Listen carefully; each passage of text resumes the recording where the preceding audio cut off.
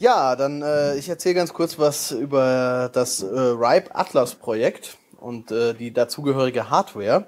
Und äh, das ist mein erster Vortrag, den ich jetzt auf diesem neuen Beamer halte. Deswegen ich versuche, ich habe versucht, alle Features von dem Beamer, also auch Full HD und so, in meinen Vortrag einzubinden. Ähm, Wenn es ruckelt, liegt das an meinem Laptop. Ähm, ganz kurz, die Ripe eine von den fünf Internet-Verwaltungsstellen oder Internet Regional Internet Registries ist zuständig für Europa und das Arabisch, den arabischen Raum.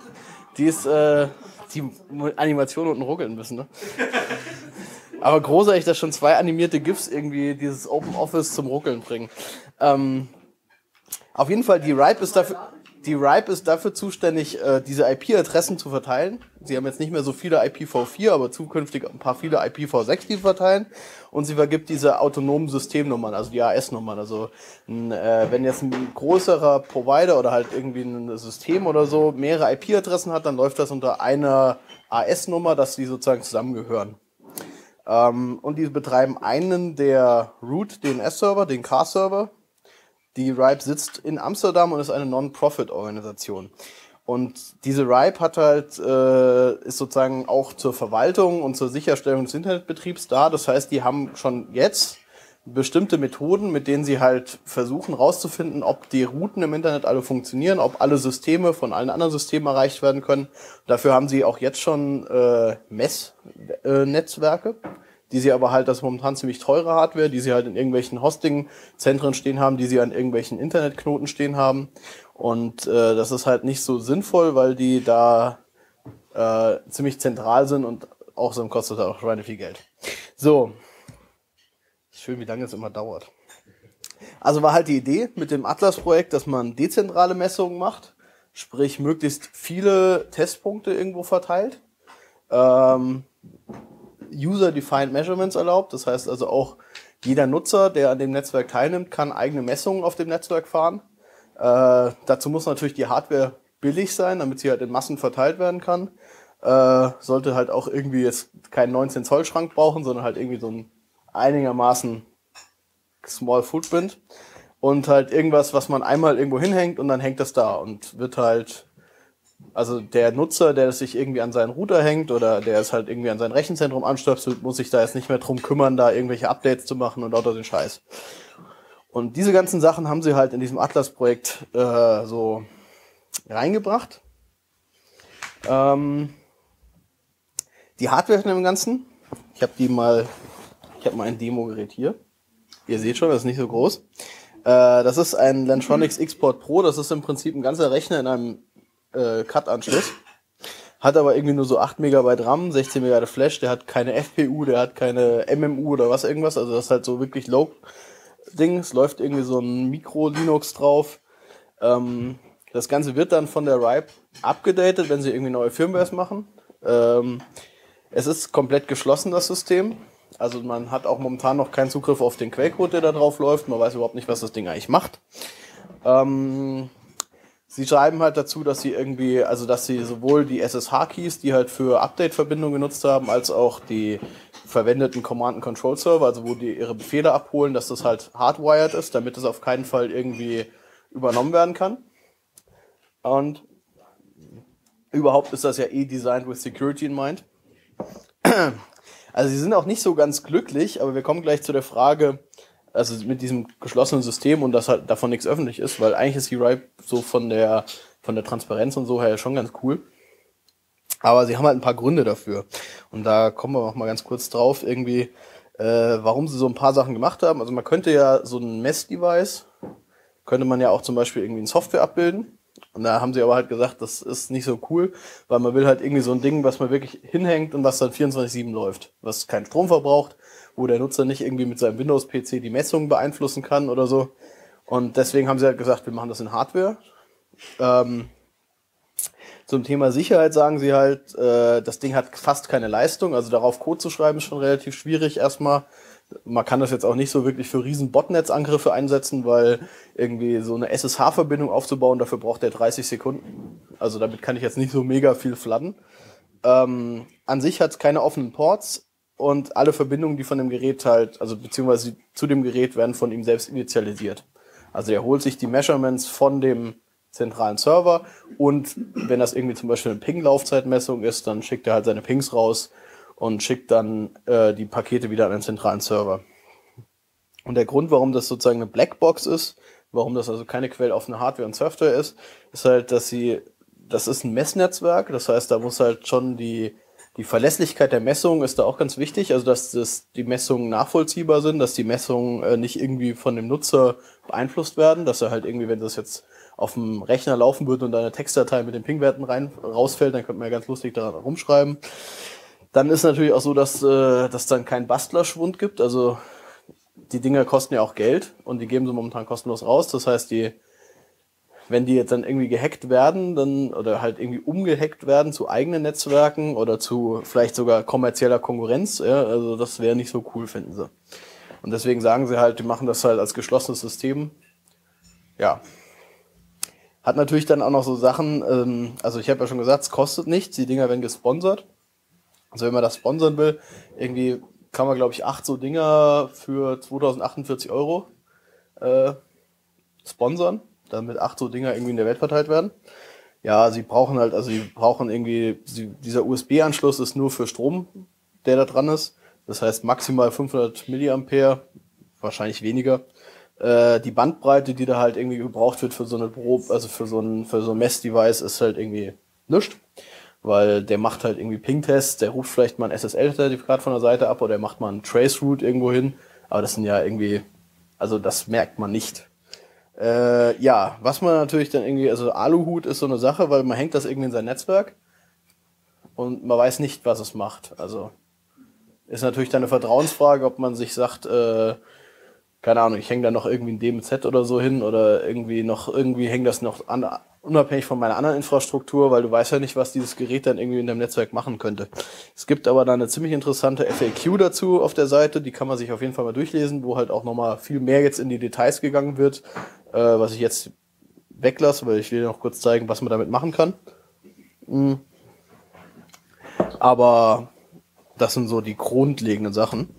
Und ich glaube, jetzt ist auch schon die Folie mit, jawoll, Blinkeffekte gibt's nämlich auch. Ähm, ich habe da mal hier die Seite offen.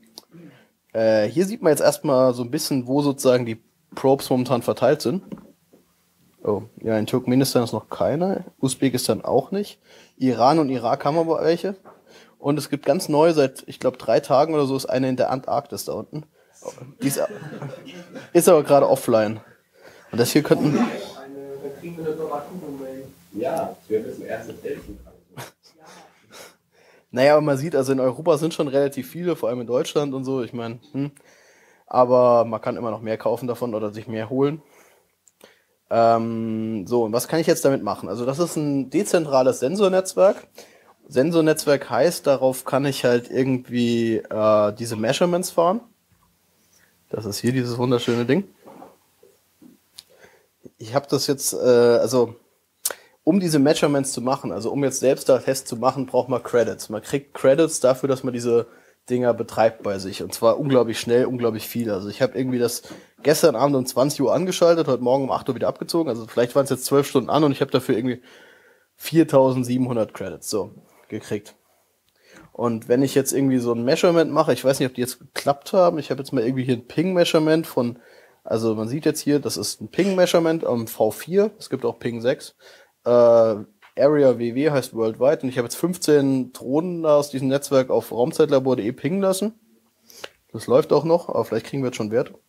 Jetzt sehe ich halt hier, das sind jetzt die 15 Drohnen, die dem Ganzen zugewiesen wurden, in welchen autonomen Systemen diese Drohnen stehen.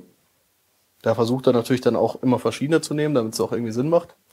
Und was ja sozusagen das Ziel von so einer Messung ist, dass ich dann sehen kann, ob meine Seite, mein Host, mein irgendwas Routing-Probleme zum Rest vom Internet hat.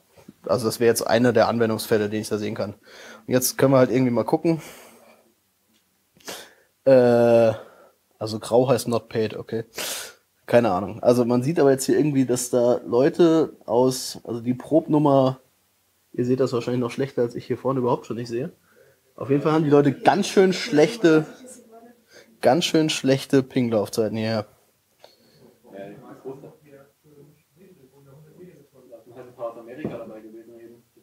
Also Roundtrip Drive 400, 500, 600 Millisekunden. Ja. Können wir mal gucken. Also das ist jetzt irgendwie Probe. Äh, 74 oder 33. Man kann ja testweise einen hinter, den Satellitenanschluss hängen. Also man kann da sich die ganzen Sachen, die man jetzt hier rauszieht mit diesen Messungen, kann man sich auch irgendwie als JSON direkt rausziehen und kann dann halt mehr Statistik drauf fahren. Äh, es gibt auch Public Measurements, da sieht man jetzt ein paar mehr Daten. Also das machen andere oder das macht vielleicht auch die RIPE selbst. Also hier machen sie zum Beispiel irgendwie zehn europäische Drones, die auf äh, die Seite selbst mal einfach pingen. Wahrscheinlich ist das halt das Doku-Beispiel. Dann kann man sich jetzt mal hier irgendwann gucken. So, und dann sieht man halt jetzt irgendwie, die haben eine etwas stabilere Ping-Laufzeit.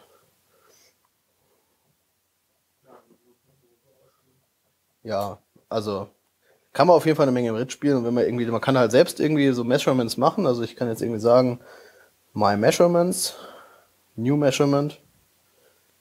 Und dann kann ich halt aussuchen, was ich machen will. Es gibt halt diese Sachen momentan, die suchen noch nach neuen Ideen und man kann auch sagen, ich würde gerne das und das messen und dann bauen die das vielleicht in die Firmware ein. Alle Sachen, also Ping, Traceroute, DNS und SSL-Cert sind immer V4 und V6. Also die IPv6-Version ist dann halt Ping 6.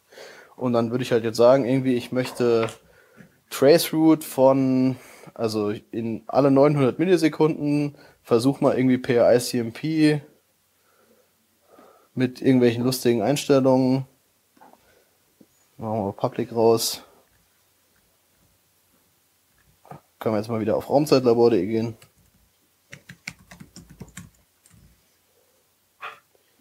Äh, das sollen die Probes selbst rausfinden, wo die IP liegt. Und dann suche ich mir jetzt irgendwie, jetzt kann ich halt sagen, was sollen da für Probes drauflaufen. Da kann ich halt das nach diesen Kategorien machen. Area ist halt die fünf oder sechs Sachen, die es gibt. Also fünf Kontinente, Europa und ähm, der persische Raum, dann Afrika, Asien, Amerika, Nord und Süd jeweils. Oder nee, Australien ist glaube ich eins und Amerika sind zusammen oder so. Keine Ahnung, Antarktis kann ich glaube ich nicht auswählen. Also das gibt hier, ah, da sieht man es ja, also West, North Central, South Central, North East, South East, äh, steht der FAQ, was was ist. Also WW ist worldwide. Und dann würde ich halt jetzt sagen, ich hätte ja gerne 50 Probes, das ist auch das momentane Maximum pro Messung, die man nehmen kann. Ja, ja.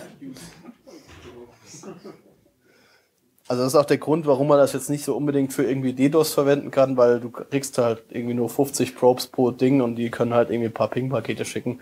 Aber das irgendwie als DDoS zu verwenden, ist schwierig. Ja, und dann äh, klar, Start, Endzeit festlegen und dann einfach Feuer. Und dann dauert es halt irgendwie. Ja, Ansonsten, wie kommt man an so eine Probe? Äh, es gibt jetzt irgendwie auf dem Kongress, also auf 29C3, habt ihr die Möglichkeit, irgendwie euch eine zu reservieren. Da gibt es irgendwie so einen Workshop zu dem Thema.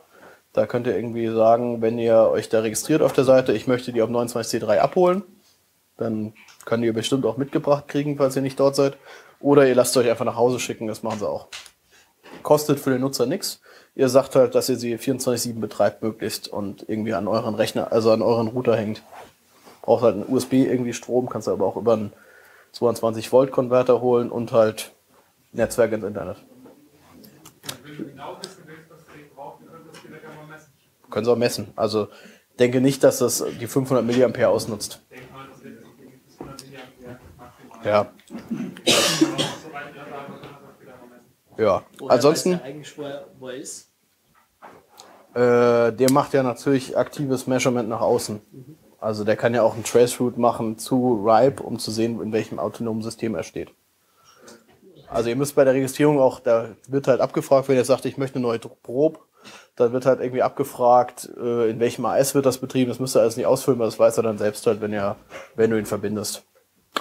Ansonsten könnt ihr mit dem Ding auch gerne mal rumspielen. Also man darf es nicht aufschrauben eigentlich.